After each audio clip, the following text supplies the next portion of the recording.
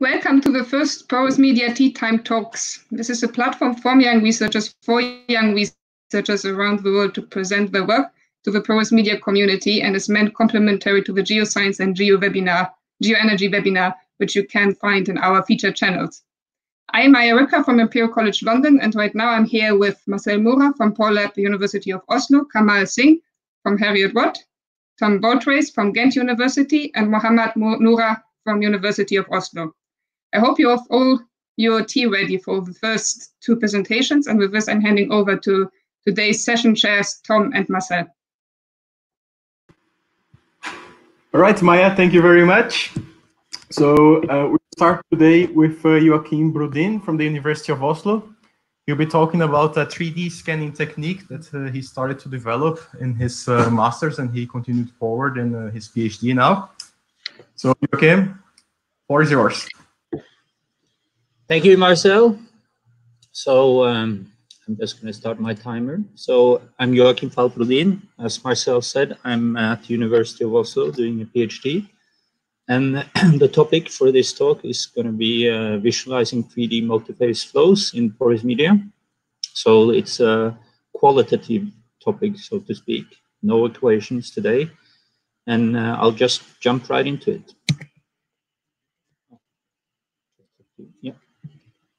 So I'm just letting these images speak a little bit for themselves. So this could be many different things, of course, but um, it's not some kind of fungi. It's not a germ. This is uh, two-phase flow in porous media. So um, yeah, that's one way to look at it. So what I'm going to do now is I'm going to go a little bit into how these images are developed and what they signify and what we can do with these images in terms of uh, deriving some physics. So I'll start with the experimental setup. So it's an optical 3D scanner and it's based on refractive index matching. So this basically means that um, we're basing it on uh, things being optically transparent. Here you can see the setup. It has two digital cameras that move through a sample with a porous medium. And that's uh, in this box here. Everything's transparent, but in the fluid phases, there's fluorescent dyes that are being uh, activated by a laser sheet that pass through the sample, and then we record it frame by frame. So we do two-dimensional uh, images and put them together to a three-dimensional sample. And they look like this. So this is our raw data here that's being put together and then it's segmented and uh, rebuilt as a 3D model. So I'll just show you what an experiment can look like with this setup. So the porous medium is a randomly packed glass bead, all same size, three millimeters in this case. And, and the beads are in a cubic flow cell. This cell is about eight by eight by eight centimeters. And we start by a defending fluid, which here has a red fluorescent dye. And then we inject another fluid from the top, green in this case. So this fluid is more dense and more viscous. And uh, here we're capturing one frame every two minutes. And they're replayed here a lot faster, obviously. Then we run the experiment till uh, one till the invading fluid reaches the bottom.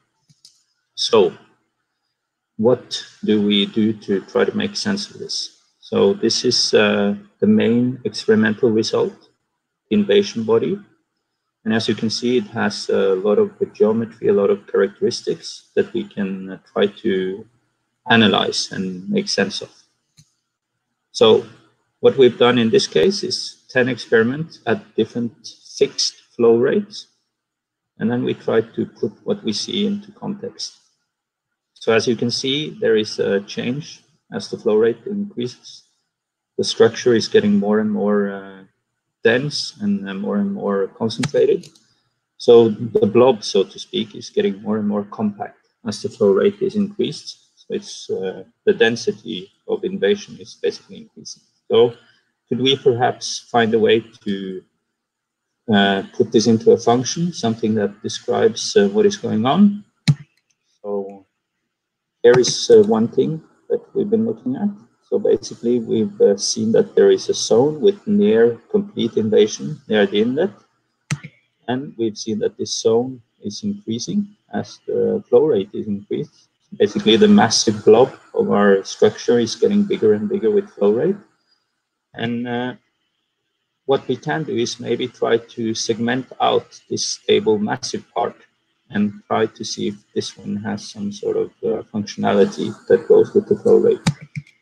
So here is an example where I've tried one method to segment out the massive part. This is done by a morphological opening. It's a process called uh, uh, erosion dilation. So I'm not going to go into that, but there's many, many ways you could approach this. So this is basically just one. And here you can see that the, the flow is reaching the bottom of the cell and starting to pour into the walls. So obviously everything is becoming massive. So we're sort of past the, the moment where this is a good description of anything. So we'll just move on. Now, another thing we've been looking at is to see if we can uh, analyze this through a description of the pore space. So uh, here is a little bit of a cinematic voyage into the pore space.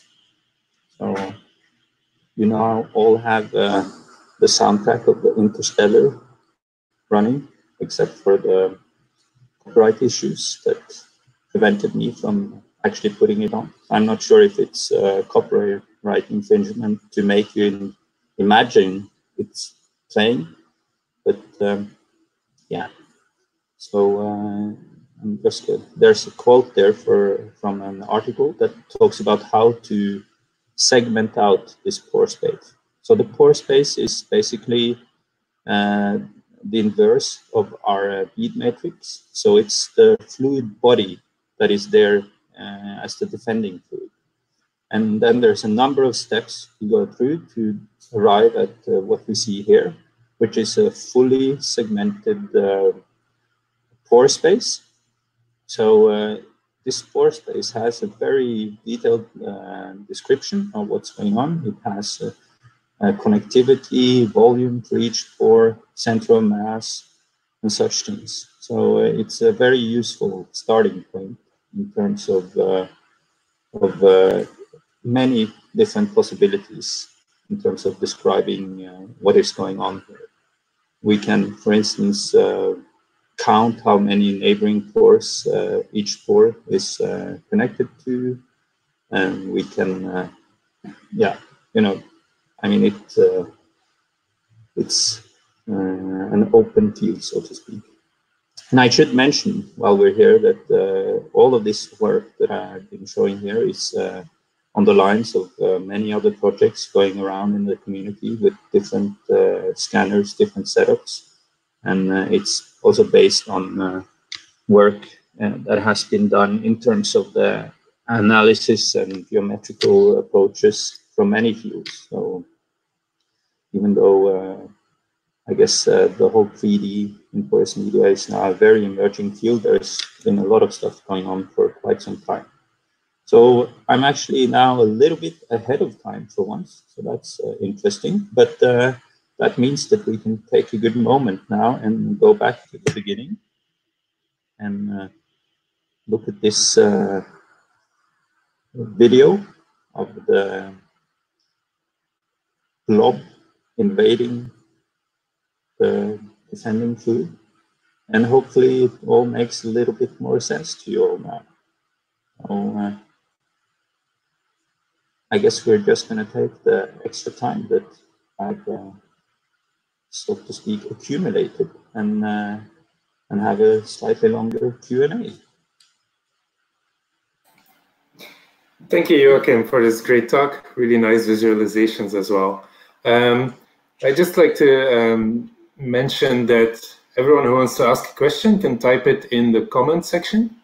And we already have a few uh, questions. So let's start with this one by Matthijs de Winter who's asking if the experiment is repeated in the same volume with spheres, or if the packing of spheres is made new for each experiment.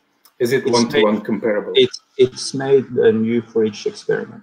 So, I mean, So hypothetically, you could sinter the the glass beads to to lock them in place, so to speak, so kind of weld them together. But actually, this would create uh, a lot of practical issues in terms of cleaning the cell between experiments is one issue. And another one would actually be how you prepare the cell fully saturated with the defending fluid. That's, uh, I mean, I guess you could possibly achieve it with some kind of vacuum processes or such. So, um, so the answer is that it's a new, it's a completely new porous medium every time. And also then I should add that given the system size, this actually ha has some uh, real significance because uh, you can have fluctuations in the porous medium that will make each experiment quite different actually. So um, this is definitely one of the things that we're thinking uh, of and that is a concern, so to speak, but uh, yeah. Okay, thanks. Um, we have another question from Right the Himalaya, who's saying, who's asking, what are the limits of sample size? Well, the limit of sample size is given a little bit by, there's two things, basically. It's the optical properties uh, as the overall uh, issue.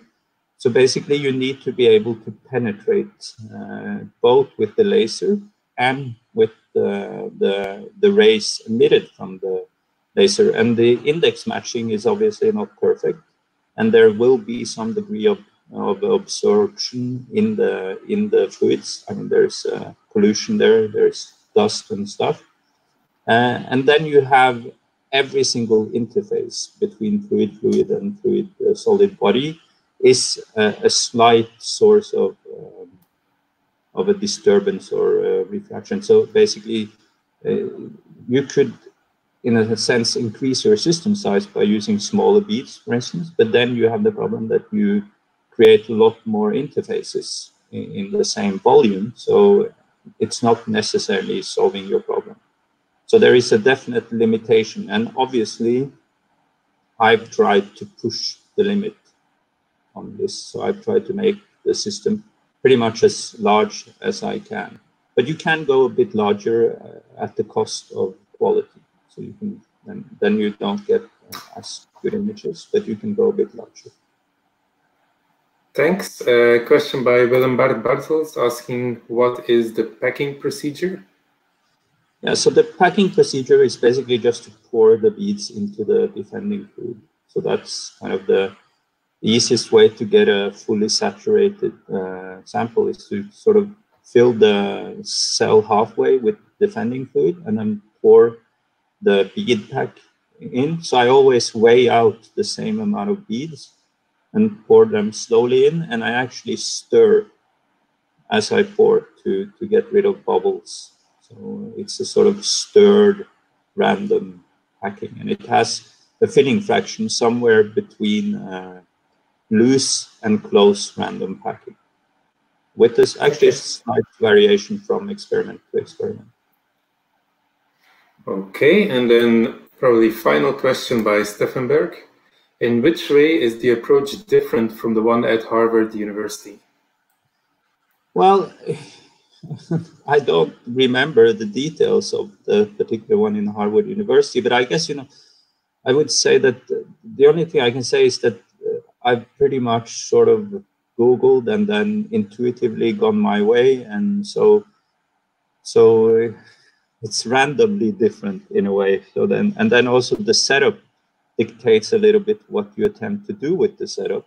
So, uh, but uh, but I'll be more than happy to to answer any emails uh, about uh, the details of the setup and uh, what I think are the possibilities and limitations. But I can't specifically compare because I don't remember the details of the hardware, hardware uh, setup. Okay, great. Thank you again, uh, Joachim, for this great talk. Thank you also for your questions. Uh, and then let's move to the second speaker of today. Uh, the second speaker is Arjen Mascini. He worked in digital rock industry for a few years and then uh, started doing a PhD at Ghent University, which is still pursuing today, uh, about characterizing multi-phase flow in porous media and especially uh, looking at wettability. And he'll be sharing some results about that with us today. Arjen? Okay. Thank you very much, Tom, for uh, the introduction. Hello, everybody. Thank you all for tuning in, and a massive thanks to the committee to give me the opportunity to present my research today. In my presentation, I'll focus on the analysis of 4D image data of multi-phase flow. I'll show how we can use this data to calculate contact angles on an event-by-event -event basis to improve our understanding of the role of wettability on multi-phase flow at the pore scale. Wettability is the affinity of the solid to be preferentially in contact with one fluid over the other. It is typically quantified by using a contact angle between the fluid-fluid interface and a solid surface. This works really well for a model system where we have a smooth surface and a homogeneous porous medium, but real porous media like rocks are more complex as they can contain surface roughness, different minerals, or surfaces that contain surface coatings, which all influences the wettability. Moreover, we need to sort of be careful about uh, the fact that these contact angles are scale dependent and also depend on the state of the system when they are measured.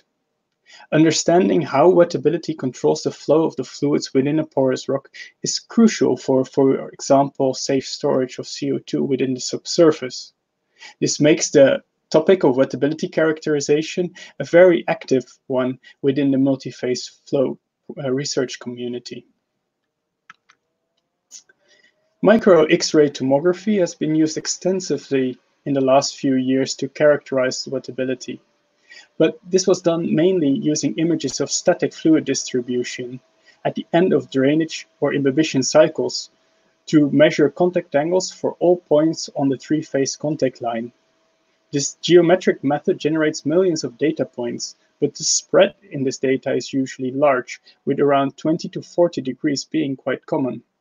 This raises the question on what the contact angles measured in this way actually represent. Because what we need is a contact angle that is relevant for the fluid displacement events that cause the, uh, the fluid distribution and not some contact angle that just represent the local interface dynamics. I will try to illustrate this schematically here for a process called primary drainage, where a non-wetting fluid, given here in red, is displacing a wetting fluid, given here in blue. In the subsurface, the flow rates tend to be quite slow, so these displacements are tend to be dominated by capillary forces. Before this particular displacement event, the interface is stuck in a pore throat. The fluid-fluid interface can then be characterized by a certain radius of curvature and a contact angle between the interface and the fluid and the solid surface. The interface will remain at the pore throat until the local capillary pressure is high enough for the interface to move into the neighboring pore. At the onset of the event, the interface has a specific radius of curvature related to the threshold capillary pressure while the event contact angle gives us the information on the local wettability. Note that this event contact angle is an effective value and it's different from the contact angle measured at the molecular scale. But it is this effective contact angle that we're interested in if we want to characterize the displacement event, and it's also the one that we're interested in when we're doing numerical simulation of multiphase flow at this scale.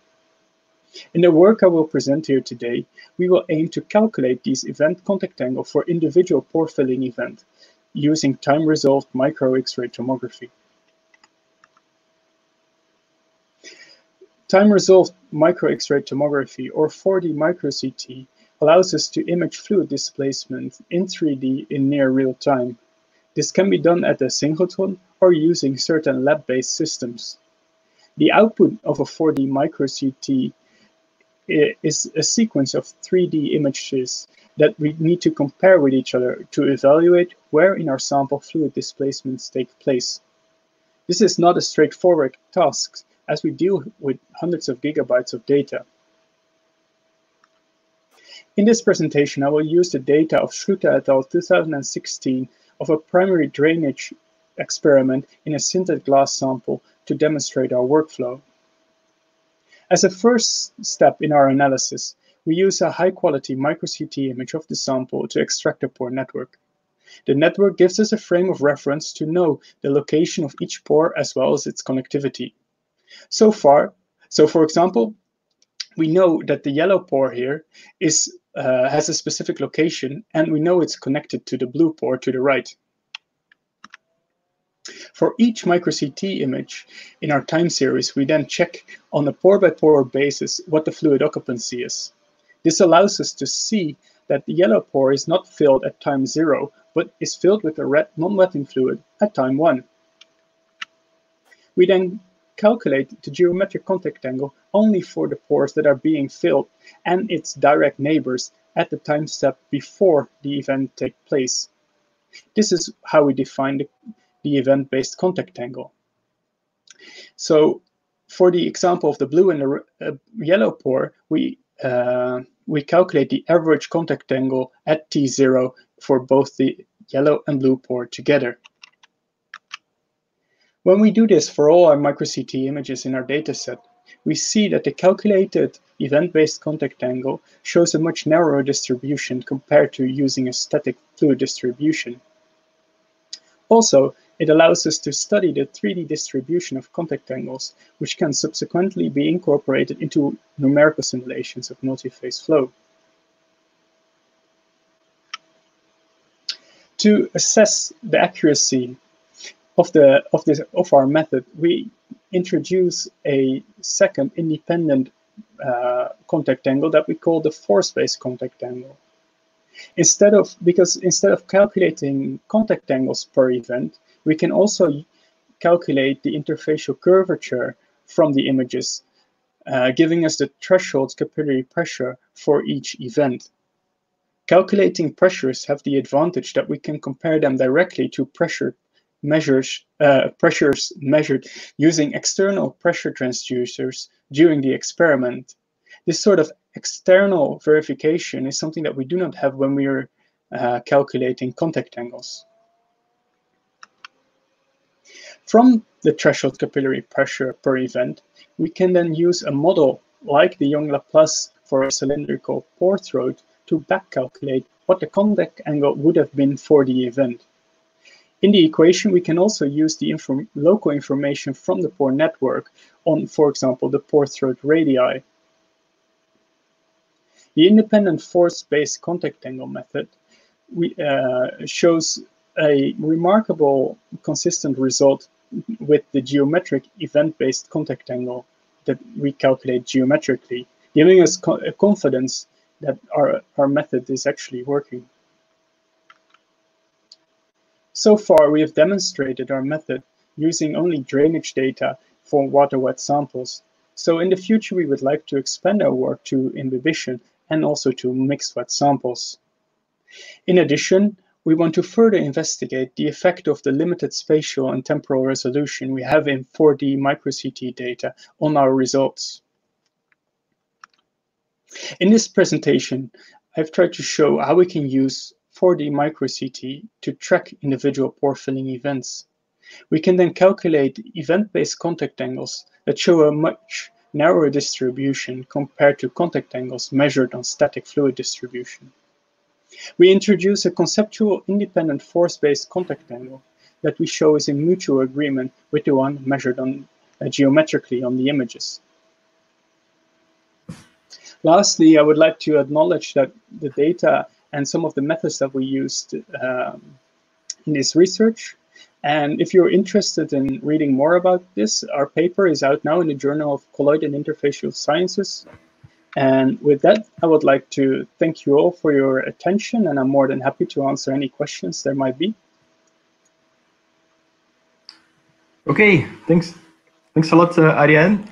So we move on to the questions. Uh, and the first one is from Right the Himalaya. So he says, nice analysis. What is the minimum resolution at which you can obtain results correctly?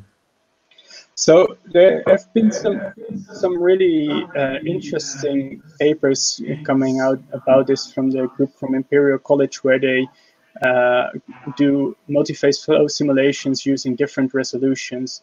And actually, what they what they find is that you would need at least for uh, at least eight voxels um, to correctly characterize a pore throat to calculate the interfacial curvature. So with that, that so it depends on your sample, and then you need sort of need to back calculate on what the minimum resolution needs to be.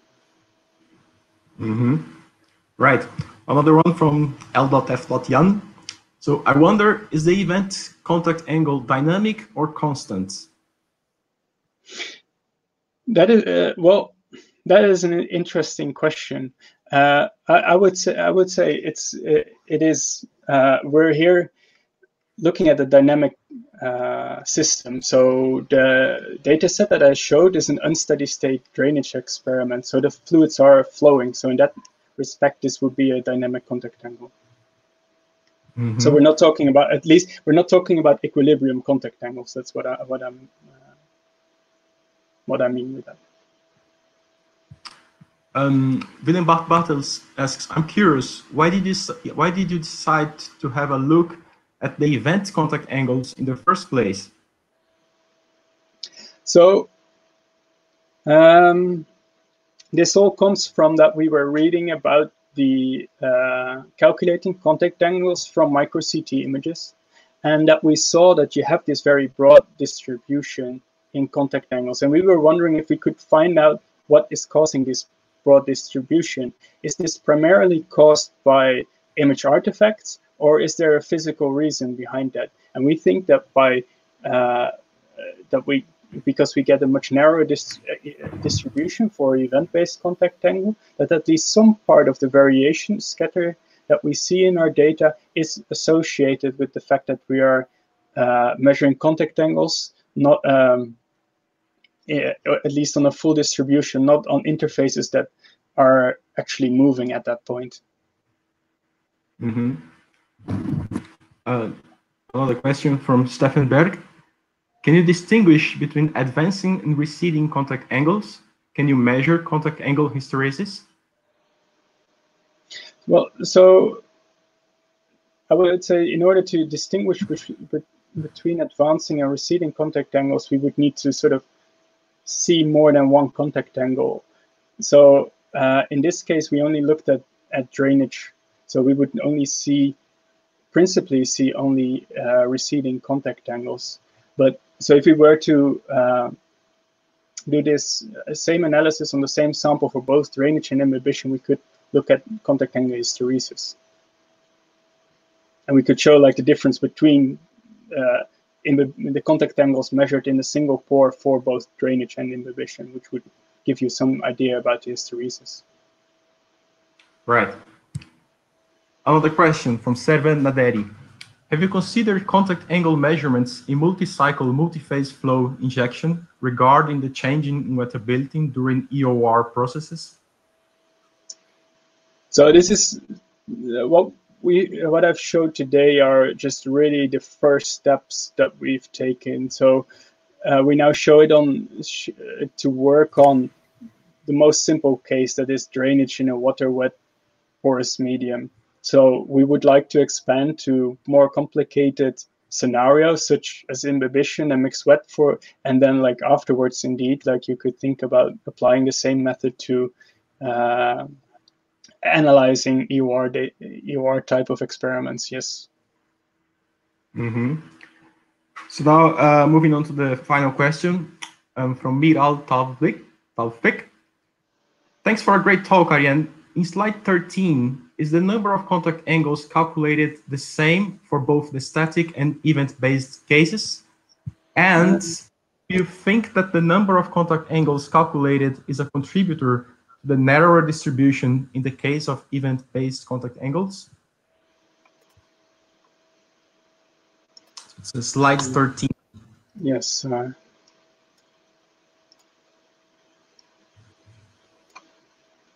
excuse me.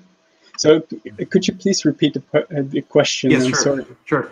It's a two-part question. So, um, so in slide 13, is the number of contact angles calculated the same for both the static and event-based cases? And do you do you think that the number of contact angles calculated is a contributor to the narrower distribution in case of event-based contact angles? Mm -hmm. So, the, to answer the first part of the question, no, it's not the same number of contact angle measurements. Uh, the distributions shown here in, in black on this, uh, this uh, static distribution, that's actually a full image where I did like the full analysis on all points on the interface at the end of primary drainage. So that is indeed like uh, about a million data points or more. Whereas in the red, this is uh, about uh, 223 data points because during drainage, we have identified 223 individual pore filling events. So the whole point actually of this analysis was to sort of narrow down the number of data points that to that we use to only include the ones that are relevant for the displacement events. Right. So if the number of data points was much larger in the event-based, do you think that the spread of the curve would uh, would get larger, or would it remain more or less the same? I, I would think that it will be more or less the same. Mm -hmm. Right. Super. So thank you very much. Yes, uh, again, and uh, Joachim. And uh, I think with that, uh, we can uh, start uh, closing our session for today. And on behalf of the whole team, I would like to really thank everyone who, who joined today. I guess we're really happy. The participation was was quite larger than what we would have would needs to be happy. So that's excellent. Uh, if you have any feedback, you can send that to us to, to the email that you see on the screen. It's porousmediattt at gmail.com. And uh, well, if something didn't work uh, as well as it should, we apologize. I mean, we are all early career researchers, but uh, our career as YouTubers is even at an earlier stage here. So we are we are just uh, beginning here. And uh, I think I would like to take the chance to, to advertise the next session, which will take place two weeks from now. So we'll, we'll try to keep the tea time talks once every second week. And it's the next one is on the 14th of July at uh, 10 a.m. Uh, Central European Summertime. And uh, you see the speakers there. So couple of days before that, you're probably going to be spammed by emails from all of us to remind you about the presentation. So if you haven't done so, please as we are YouTubers now, like and subscribe our channel, and you'll be hearing again from us. Thank you again. Bye from everyone.